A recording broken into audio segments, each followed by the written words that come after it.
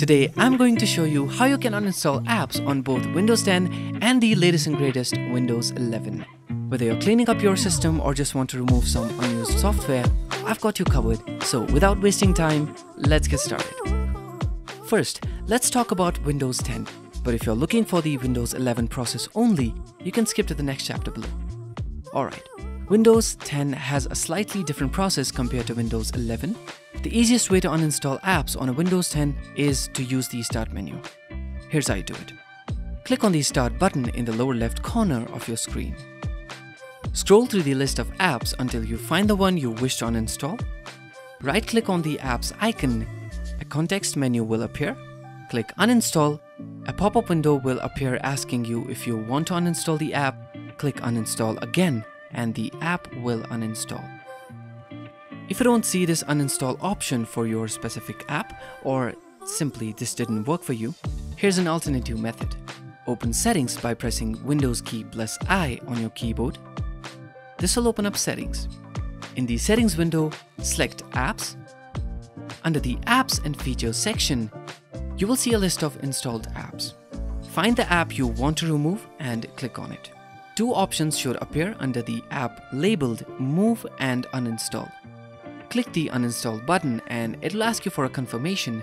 Click Uninstall again and the app will disappear from the list, which means it is uninstalled.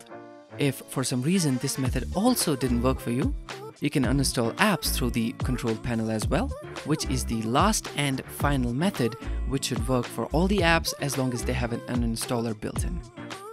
To open Control Panel, go to Windows Search and type Control Panel. It should appear in the search results. Just click to open it. Now in the Control Panel, click on Uninstall a program under the Programs option. Then from the list, locate the app you wish to uninstall. Right-click on it and select Uninstall, or you can also select the app and click the Uninstall button on the top to launch the uninstaller. Then go through the uninstaller process to uninstall the app.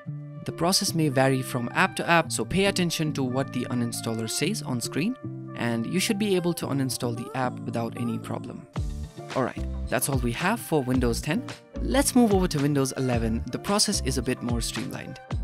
On Windows 11, you can uninstall apps directly from the Start menu. Click on the Start button, find the app you wish to uninstall, right click on it and select uninstall.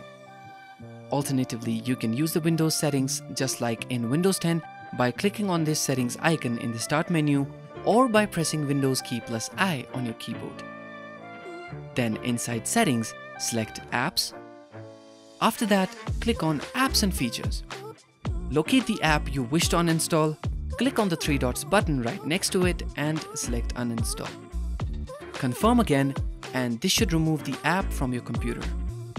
Windows 11 also has the control panel like the Windows 10, so you can use the Windows search to open it and follow the same steps I previously showed you for the Windows 10 to uninstall apps in Windows 11. Remember, keeping your system clean can improve performance and can save you a lot of valuable disk space. Now, I need you to give this video a thumbs up if you liked it and drop a comment if you have any questions. And if you're interested in how you can uninstall apps on a Mac computer, you can watch this video next. Click on this video and I'll see you there. Bye.